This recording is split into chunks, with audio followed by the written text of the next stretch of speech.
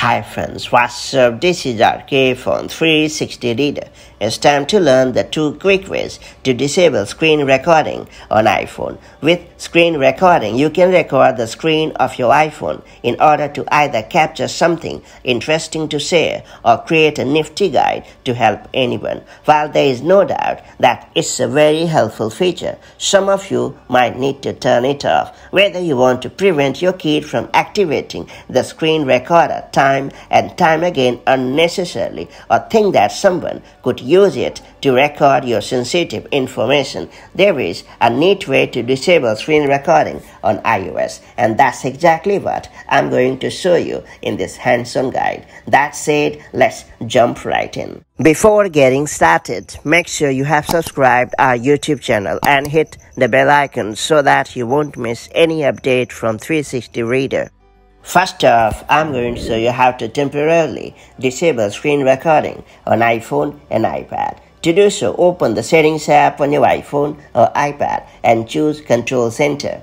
Now find screen recording and then hit the red minus button to the left of it and then hit remove to remove the screen recording button from the control center.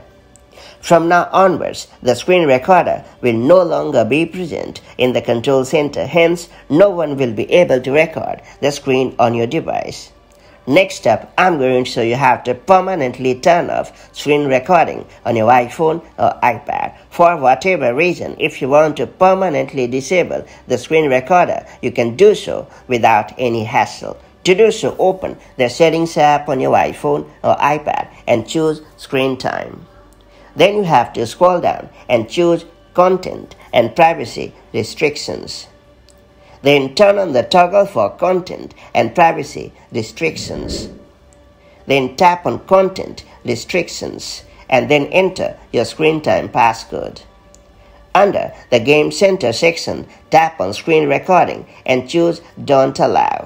That's it. You have successfully disabled the screen recorder on your iPhone. Going forward, it will not be available to use on your device. At any time you want to bring it back, navigate to the same screen time setting and then allow the screen recorder to work without any restriction and you are pretty much done.